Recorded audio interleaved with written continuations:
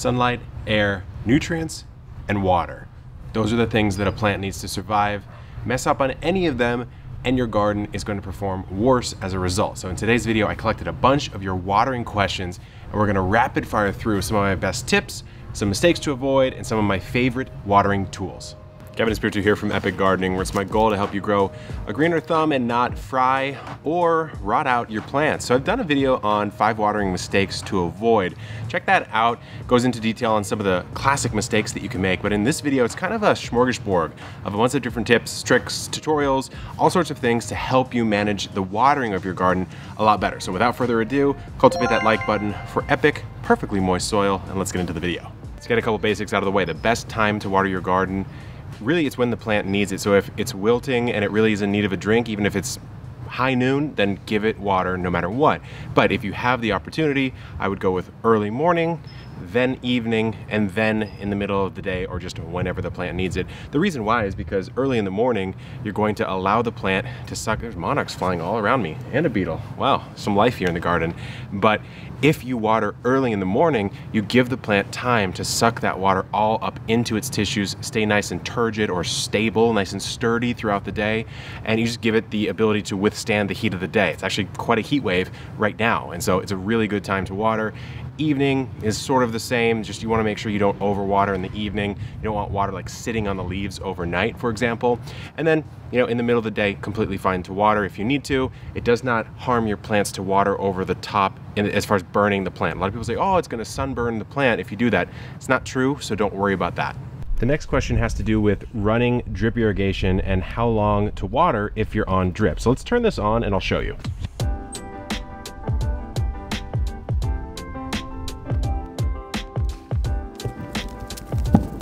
Drip, based on a million different factors, really changes the amount of time that you'd want to water. It's based on the type of tape that you're using, the emitters, the output rate of the emitters. So that can get very complex. So I would say figuring out when to run your drip and how long is basically determined on observation. So I have the garden running right now. I can see some of these bags are starting to already drain out. So what I can do with these adjustable drippers is actually move them slightly so I can titrate that one down. So that one waters a little bit slower than the rest so that they all are getting the ample amount of water. So I'm not flooding one and underwatering another. So that's a really good idea. I have a whole video on that as well. But really it's just see how long it takes for most of your containers or your bed to get amply wet. Make a note of that and then run it on that cycle in the future. So this lime tree here does not need this much water compared to other plants. So I'll just titrate this down a little bit. Now this one's flowing at a lower rate and the rest are completely fine. For example, over here in the bok choy bed, I can move this a little bit if I want to, but we're getting pretty good coverage here. And these are gonna need a lot of water, so I'm gonna keep it at this rate. Also, this bag's a lot bigger, so I wouldn't want to cut it off like that. I really want this to be full stop, open and ready to water. Now out here in the in-ground bed or even in the raised bed, it's a different equation because you're actually applying the water to the garden if you're hand watering. So then the question remains, how do I know how much I should water? Well, it's gonna depend of course on a lot of different things. For example, take these tomatoes here. Tomatoes benefit a lot more from a deep, inconsistent watering than a little bit of water every single day. So I'm gonna show you how I water these tomatoes and then I'll show you how I water the corn up there and how that differs.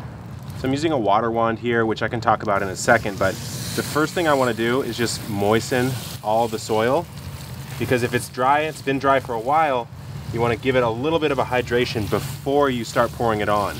So let's do that. I call it the water wait water move. You water, you can see this water's starting to run. It needs some time to actually moisten up the soil. There it's starting to get in. Now I can come in with a deeper water. Okay, here we go. Especially if you're using a water wand that puts out quite a bit of water at one time, unlike a little shower hose, then it's a lot easier to actually get the water into the subsoil if you wait a little bit instead of just dumping it all on at once. And with tomatoes, it's a really good idea to water around as well. Deep and wide roots. And so watering anywhere from one to two feet even around your tomatoes is gonna be a great idea. So how do I now know if I watered enough? Well, what I can do is just brush away my mulch and stick my finger down in here and take a little pull away. And if I take a look, I've got water down at least four or five inches, if not more. So I've given it a nice deep water. That's a success. Now again, you wanna just make a note of how long that took to get there and then replicate that the next time you water. There's our example of tomatoes, a plant that wants to be watered deeply, but not necessarily every single day. Now something like corn, remember that's a much shallower root system. Beans again, also a shallow root system and they will suffer quite a bit from not having water in that shallow root system. So you may wanna come in with something like this and water more often, once, even twice a day, especially if you're in a heat wave, and just making sure those roots stay consistently moist. And this is a situation in which you see on the rest of my beds, I've got a bunch of straw mulch down. I need to put straw mulch down on this as well. The more shallow the root system is, the more sensitive it is to underwatering, the more result you're going to get, the more benefit from having a nice layer of mulch on top of your bed. And so I'm making a little bit of a mistake here in not doing that, which I will remedy as soon as I finish watering this up. Before we get to some of my favorite gardening tools for watering, a final note as far as frequency and how often to water and how to just know the answer there. And there isn't a secret to knowing the answer, it's developing the gardener's eye. And so things you have to consider would be container size, temperature, the actual plant, what phase the plant is in, you know, tomatoes early on versus tomatoes later on. I mean, guess which one probably needs a little bit deeper of a drink, right? Even the same type of container. I've got a grow bag here doing some peppers and basil. I have another grow bag behind behind me here, it's 100 gallons doing Japanese pickling cucumbers, Thai giant hot chilies, and flowers. And so that's gonna be pulling a lot of water, but there's also five times more soil in that.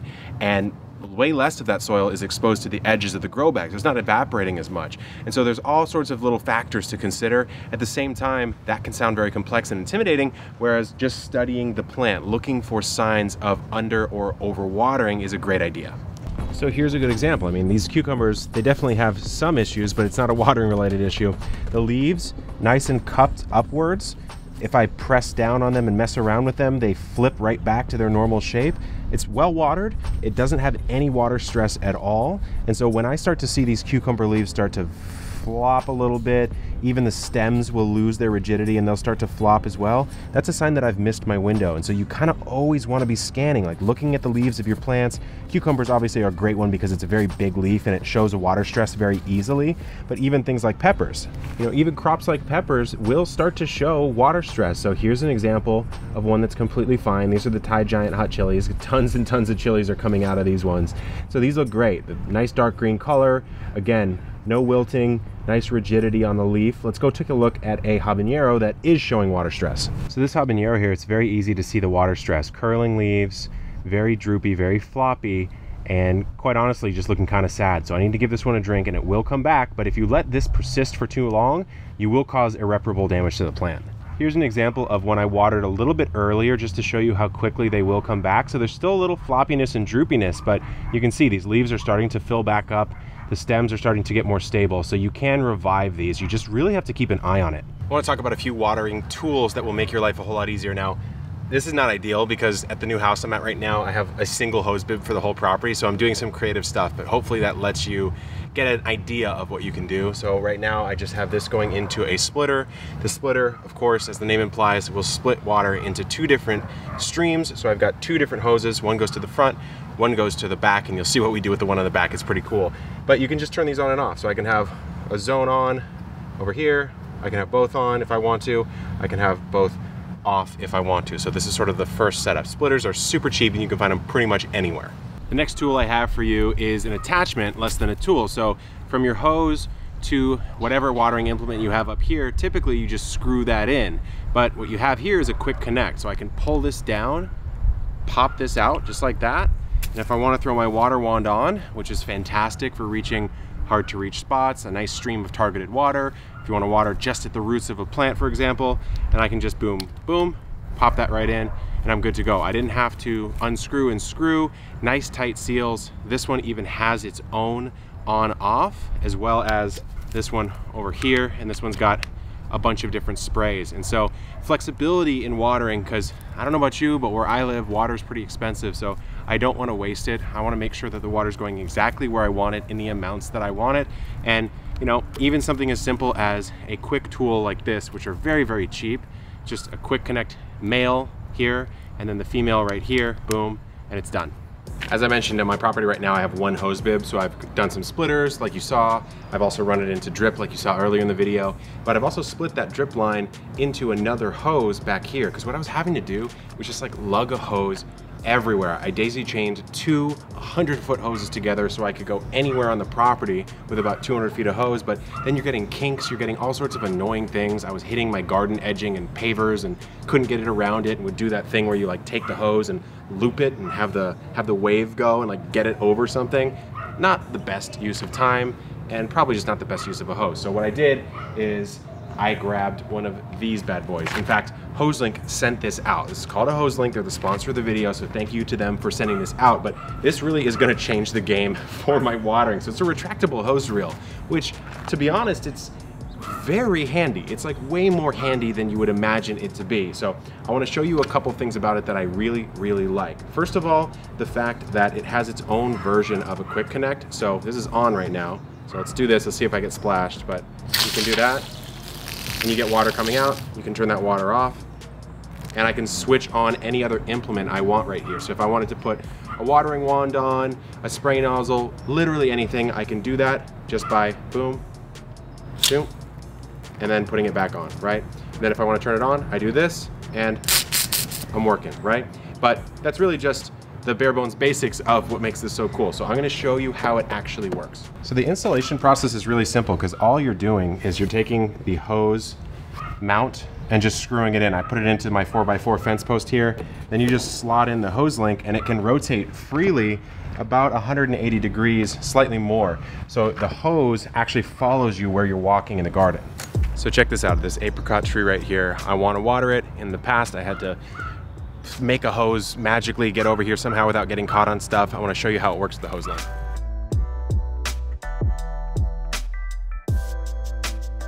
So now that I'm out here, if I let go, it actually stays. So it click stays, and then I can just hand water as much as I want.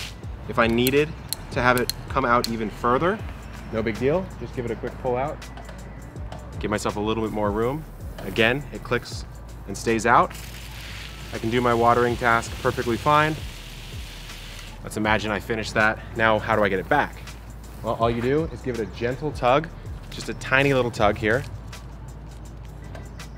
and then guide it back by hand. Because I have gardens all around my property right now, it's been really handy to come out, like for example, with these dragon fruit and some of these pineapple propagations I have, and just run a hose straight over to it instead of filling up a bucket and watering it or dragging a hose around weird corners.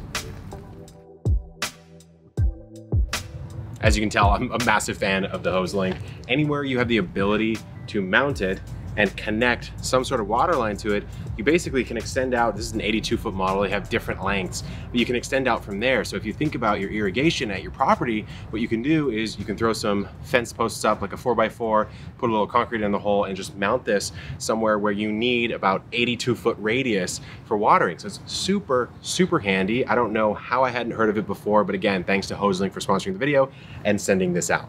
A really common question is whether it makes sense to water using your city water for a couple reasons. What if it's really hard water? Ours actually is here. We're about 400 to 450 parts per million, so it's quite hard water. But we also have chlorinated water. So the question is, does that harm the plant? It's not really going to harm the plant so much as it would harm the bacterial, microbial life within the soil that you're trying to really cultivate so that they can mobilize the nutrients for the plants. And so for that reason, some of my really good friends in the, in the natural farming world who are really trying to go as with nature as possible, throw a chlorine filter on their city line to remove that so that they don't have to worry about that. That's something that I'm going to be doing as well, but the short answer is your plants will still grow without doing that, but it is sort of an extra step that you can consider if you really want to cultivate your soil life. Next question, very understandable one, is how to know if you're over or underwatering the plant, if it's showing a symptom of some water stress. And you know, it's a good question because they present in kind of the same way. You have a drooping of the leaves, you've got a drooping of the stems, they look sort of wilty, and that makes sense in underwatering because there's not a lot of water in the plant, but in overwatering actually the same thing happens because the soil is full of water, but the roots are starved of oxygen and they're not really able to transport that up into the plant tissue, and so they sort of flop around. Well, to be honest, it sounds like a very simplistic answer, but the best way to know is to just look at the soil and also remember which is more likely to be true. If you've watered it or it's rained a lot recently, then overwatering stress is probably the one that's going on. But if you've forgotten about it for a week or two, well, surprise, surprise, it's probably underwatering. So while they present the same, it really just is using common sense to figure out which of the two is the more likely one. And if you're really, really uncertain, just dig around in the soil and see how it feels. You guys gave me a lot of questions on watering, and if I didn't answer yours, drop it in the comment section below. I'll do a follow-up video on watering sometime soon, but I wanted to leave you with one final tip for watering in extreme heat to make sure you protect your plants, because right now, I think as of time of release of this video, we're going through kind of a heat wave in the whole country, and so we're all struggling with this issue. One thing that I'll do is, number one, water early and deeply in the morning. So I've protected my plants. I've given them all the resources they need at the beginning of the day to try to make it through. But especially on those shallow rooted plants or plants prone to heat stress, you really do want to hit it with a secondary watering probably sometime in the late afternoon or early evening to make sure that they make it all the way through. Because some of these plants, you know, if the soil dries out too long, boom, they're done. Another thing you can do, add a couple inches of mulch on top to protect the soil even more. That's something I'm gonna be doing out in my front yard as this heat wave seems to continue. And then another thing you can do is throw some shade cloth on top of your garden beds, and that's going to cut the sun roughly by anywhere from 30 to 70%, depending on the type of shade cloth you get, which is going to reduce the amount of transpiration and evaporation that's going on underneath the shade cloth. So that will help you as well. So three final tips for watering in the heat. Again, thanks to HoseLink for sponsoring this video. Super, super handy tool that I expect to be using all the time. You'll probably see many more installations of the HoseLink on my Epic Urban Homestead. And until next time, good luck in the garden and keep on growing.